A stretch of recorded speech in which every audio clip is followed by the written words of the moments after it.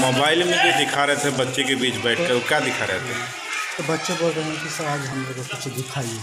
क्या दिखाए रहे शिक्षा के बारे में कुछ हम दिखा रहे शिक्षा के बारे में तो नहीं था वो तो फ़िल्म चल रहा था। फ़िल्म वही वही शिक्षा का संबंध नहीं था।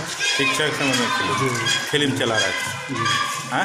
हाँ दिखा रहे थोड़ा सा ये सा सीरियल बच्चे के बीच में सट के बैठना ये क्या है? थोड़ा ऊपर लास्ट में हम थे सर। तो बच्चियाँ हैं ना, युवतियाँ हैं।